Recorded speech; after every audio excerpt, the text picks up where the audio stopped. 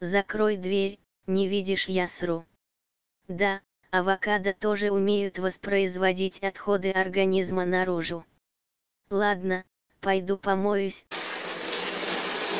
А ты уже мыл. Хочешь я тебя помою? Я покакала, теперь если ты не уйдешь, то я кину в тебя этим говном. У тебя три секунды, чтобы закрыть дверь и уйти в окно, я предупредила.